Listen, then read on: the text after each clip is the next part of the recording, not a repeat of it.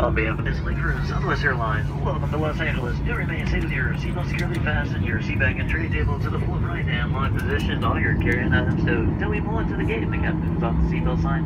And use caution when opening the overhead bins. Ice placer may have shifted during the flight and they could fall out. If you are connecting to another Southwest flight, deplane, check the monitors inside the terminal for your flight engagement.